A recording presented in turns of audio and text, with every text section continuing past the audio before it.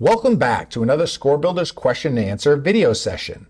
This video provides members of the ScoreBuilders team with the opportunity to explore challenging multiple choice examination questions with students actively preparing for the licensing examination. My name is Scott Giles, and I will be your host for today's journey. I will read the question and provide you with an additional 60 seconds to answer the question. Ready? Let's go.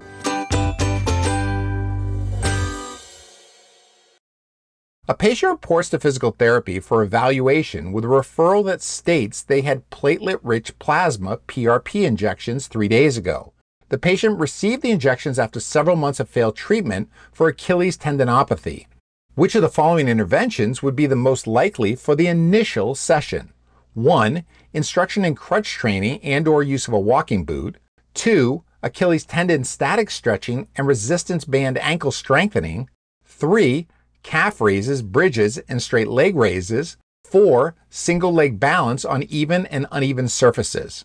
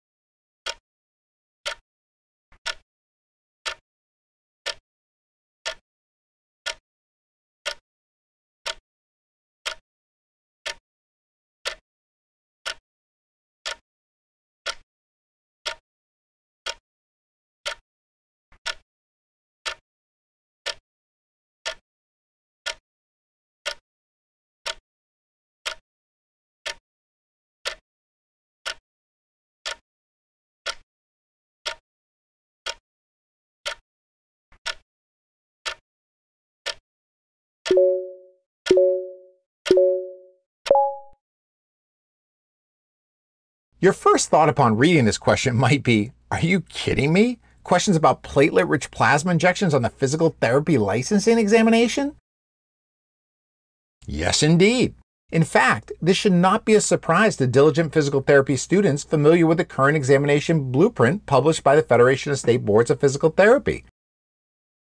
Remember, the examination blueprint changes significantly every five years, and with this change, new topics such as regenerative medicine are added, while other topics previously on the examination are removed. Let me be more specific. The largest content outline category on the current licensing examination is called Foundations for Evaluation, Differential Diagnosis, and Prognosis. This category refers to the interpretation of knowledge about diseases and conditions of the musculoskeletal, neuromuscular, and nervous systems according to current best evidence in order to support appropriate and effective patient client management for rehabilitation, health promotion, and performance across the lifespan. One of the subcategories in this broad area is as follows The impact of regenerative medicine.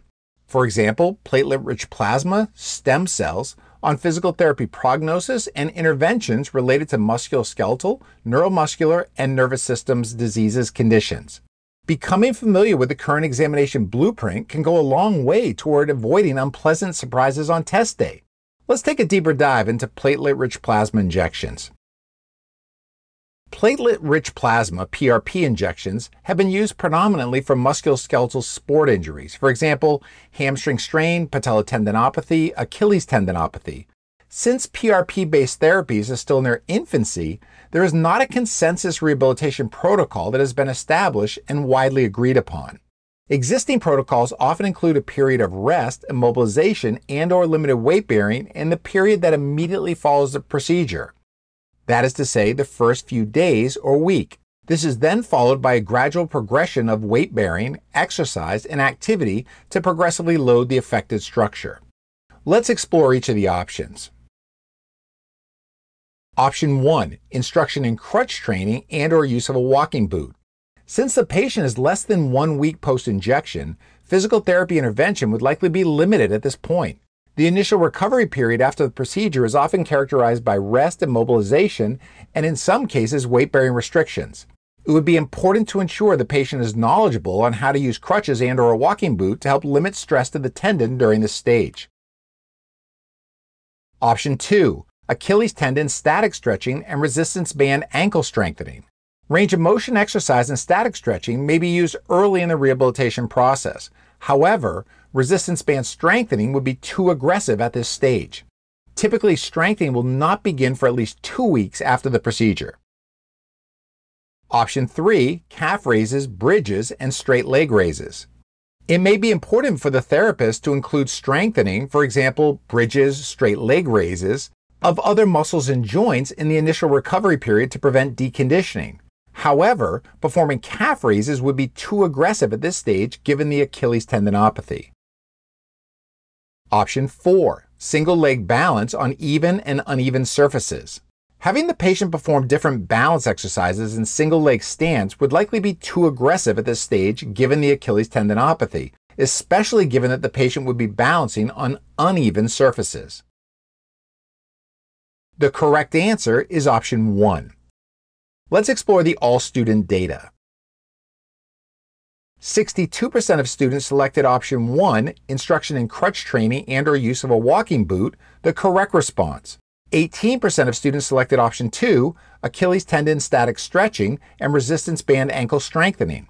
11% of students selected option 3, calf raises, bridges, and straight leg raises. 9% of students selected option 4, single leg balance on even and uneven surfaces. System classification. This question is a musculoskeletal system question which represents approximately 27% of all exam items. Content outline classification. This question is an interventions question, which represents approximately 29% of all exam items. Level classification. This question is a level 3 question since the question requires candidates to systematically analyze and often interpret information to determine an appropriate course of action. Level 3 questions tend to have some degree of subjectivity, and candidates are required to assign varying degrees of importance to different variables. Thanks for joining us on the Score question and answer video session. See you next week.